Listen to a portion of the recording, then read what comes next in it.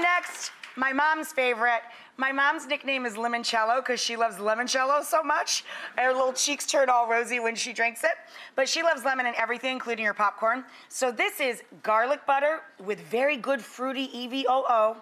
And we have a few stems of rosemary and the crushed garlic all together. That's a hot tub of love. So you put your garlic rosemary oil down over the top of your popcorn, and then lots of lemon zest. Mmm. Little salt, of course. And a lot of Parmigiano Reggiano.